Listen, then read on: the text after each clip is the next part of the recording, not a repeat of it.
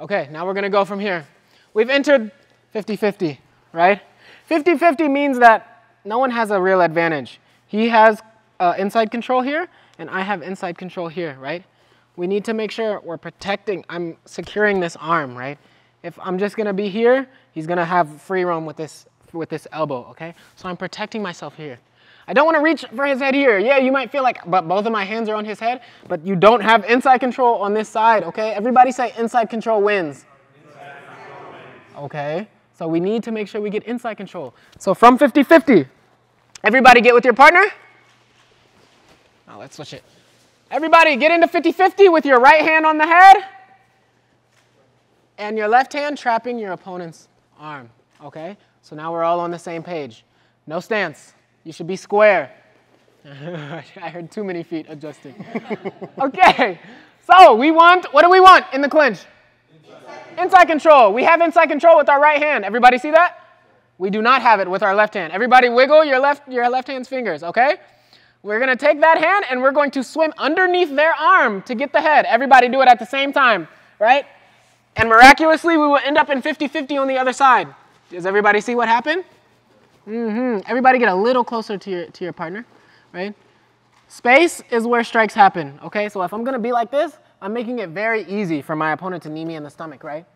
No, we stay close. When I want to knee, I make the space and I knee. Everybody understand? So there's two main knees. All right, relax. Everybody relax. So there's two main knees in the clinch that we do. There's multiple knees you do, but these are the two main ones you're going to be using. The first one is an A to B knee, right? What I do is I make space, and my knee is going to go from A to B, being his belly button. Okay? When I knee, when I use this knee, I'm pulling him into me, right? Like, like some, you guys ever broke sticks on your leg? That's the same, that's the same movement you do when you knee down the, down the middle. So I make space, right? Because I'm gonna be here. Make space, okay? The second knee is going to be uh, um, a circular knee. I'm going to open my hip up and slam in, okay? He's my, he's my partner, I'm using my thigh. In a fight, we're going to use our knee, but not, not in the gym, okay? So there's two knees. One's A to B, space, knee, okay?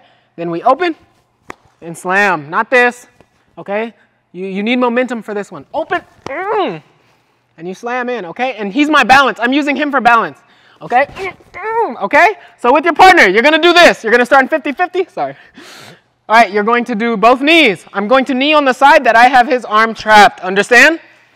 I'm gonna go A to B, pop, and then I'm gonna open, slam. He's gonna do the same. A to B, pop, open, slam, and then we're going to swim. We're going to use that hand and go to inside control. Up, and then we're going to do our knees on this side where the arm's trapped. Understood? Anybody have any questions about that? Okay, one, two, three.